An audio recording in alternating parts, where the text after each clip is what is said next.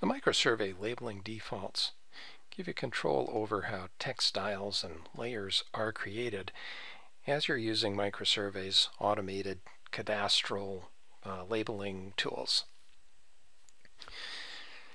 These are a variety of settings that are stored with your microsurvey defaults and what they'll do is they'll build text styles and create layers and so forth as they're required whenever you're performing most of the functions that are in the MS Annotate ribbon. You'll note first of all that our standard terminology for allowing you to specify the plotted size for text is Leroy. And if I open up the help file, I'll show you there's an article here explaining how the old mechanical Leroy devices worked and how they allow you to set a standard plotted height for text. The microsurvey system will take a look at your drawing scale factor and uh, will create text styles as required so that when you plot at the assigned drawing scale factor, you'll have the correct plotted height. If you prefer to use plotted millimeters or plotted inches to set your drawing styles, then I'll show you here you can go into the system toggles and you can tell it to turn off Leroy notation and then you'll be able to specify them as shown here. But I'll keep the Leroy setting just because it's the standard. So let's take a quick look at how these different sections on the labeling defaults dialog are applied. So I've switched over to the curved labels section and you can see that uh, a Leroy size, a style name, a layer name, and a layer color and a few other elements about how the text is created are set in this dialog. And here's an example of what a curve label created using these options looks like. I'll switch over to the point identifiers. So this will create the same elements and control how your point number is labeled in the drawing. Descriptions are assigned here. Again, you'll note that uh, you can customize a lot of things and just remember that uh, it's going to create layers and styles as required. You don't need to set them up in your template. Elevations, if they're required, will be created using this style. Now I'm going to switch over to bearings and distances and you've got lots more options to apply here with uh, bearings and distances because you notice how you've actually got five different styles that you can create and save in your microsurvey settings. The best way to help you understand how these work is just with a couple of examples. So I think what I'll do first is I'll just tell you how to apply a style. If I go to my bearings and distances, let's create uh, a label using style number two. So before we create a label, we want to go into the default section and we want to pick style 2 for bearing and distance.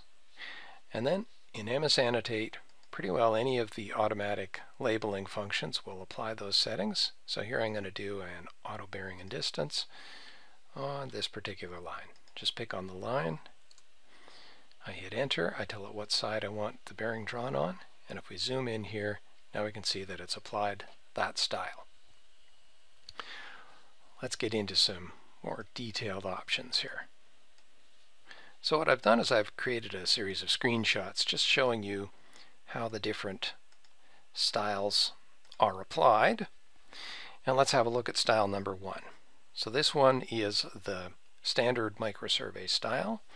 I've just created that so you can see how the bearings are created and you can see how the distances are created. So let's switch over to style number two for both bearings and for distances. And I'll show you the azimuth version first and a couple of things to note here. So this is a style that's created if you want to have a ghosted style of text. You'll note that it uses a different plot height from the previous example. You'll note that it uses a dashed font, and that matches the dashed line type that is used. You'll note that an oblique angle is applied to the text to give it an italic appearance. And here I'll just switch to the bearing example. So that's our uh, ghosted example. Okay, let's switch over to style number three. Okay, so style number three is uh, created specifically to show you how offset works. And so here's an example of how that offset works. If you're using a heavy line type or if you've got a polyline with some width then you need to create a little extra clearance before you create the label. So this style uses applies an offset. So here's the azimuth version and I'll switch over to the bearing version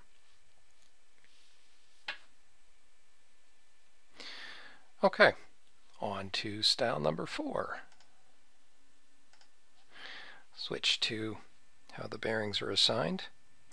Now this is an example where we've applied a variety of options, but this is also a style that I'll call grid because what we're going to take advantage of is you've got the ability to apply a scale factor that will be applied to the numeric value of the distance label.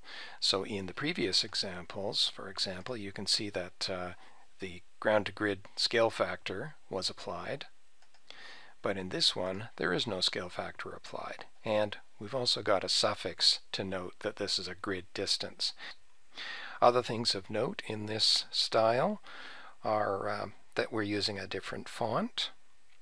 We've used uh, width to modify the way the font appears.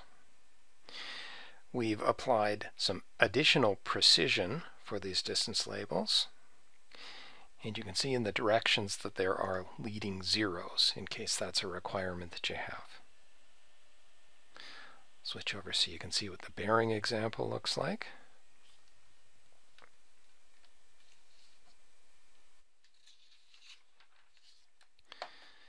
Style number five has a few other options applied.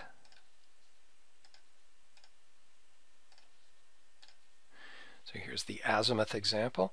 So in this case, I'm going to call this the metric style because what this one does is it will apply a scale factor in the distance label to convert feet distances into metric.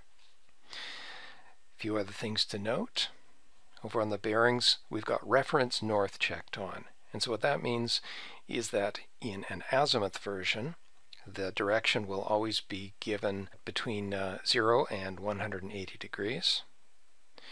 Or in the bearing version, you'll see that uh, the directions are always given in the north half of the compass quadrant.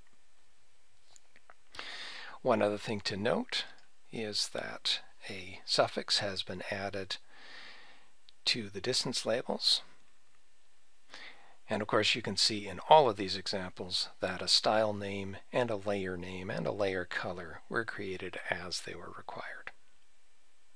Okay, thanks so much for your interest in this topic. It's a function or it's an aspect of microsurvey that gives you a ton of control over how you create your standardized drawings. And remember always as you're developing these, if you wish to save these as defaults, that you can switch over to the MS Tools section. If we go in here, we can save as the default configuration, or you can save a configuration file if once you've set up your labeling defaults, you want to transfer them to other computers.